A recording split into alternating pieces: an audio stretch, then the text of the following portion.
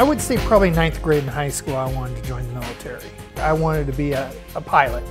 So I, I joined in 1982 while I was still a senior in high school. And six days after graduation, I was in San Diego doing push ups. Fortunate enough to become a Cobra helicopter pilot for the Marine Corps and did that for a number of years.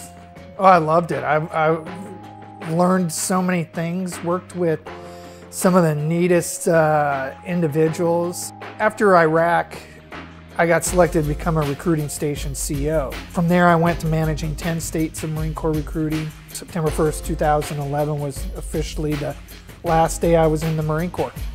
For me, it was, a, I was looking for a job. I mean, I, I, I was not ready to spend all my time sitting on a dock fishing.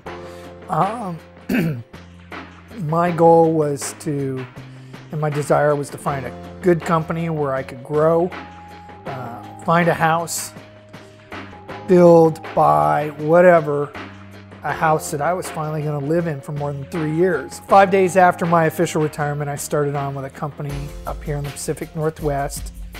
Um, moved my wife up here. We sold our house at a loss because of the home, you know, housing market to move up here, moved into this house temporarily. You know, we only wanted a six month lease because the whole idea was we were going to go find our last house.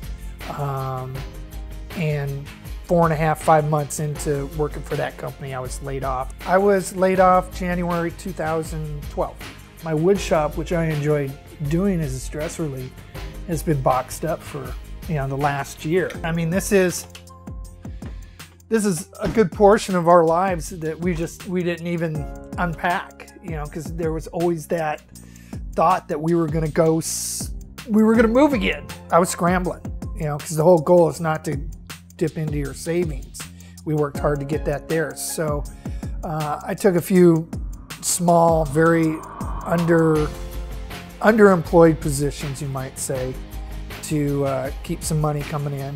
My wife got a job and I was in a job, you know, very underemployed position that I was not happy with.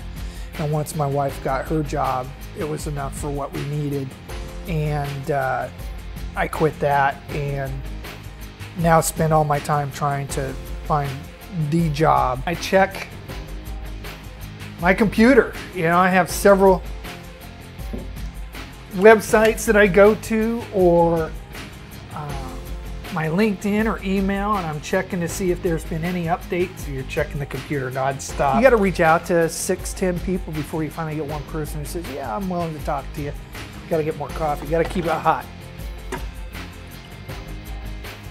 I would say it's very difficult. If you're military, odds are you're going to start somewhere near the bottom. Uh, it's you are not. Uh, it's not like a deck of cards where you're shuffled in. I realized that it's a slightly different industry, not slightly, it is different industry, and you have to learn. But uh, I don't think we're shuffling the deck that we should. It's been tough, and it's been, uh, uh, you know, humbling. But at the same time, I, I'm very fortunate. You know, I have my retirement, and I'm, and I'm fortunate that my wife has a job. You know, every day you're moving forward. Uh, you know, I've made some new contacts that I think that might be able to help me. Every day I am looking for a new job. Every day I think I found a good fit. Um, I got an interview next Wednesday, so you know my fingers are crossed. Um,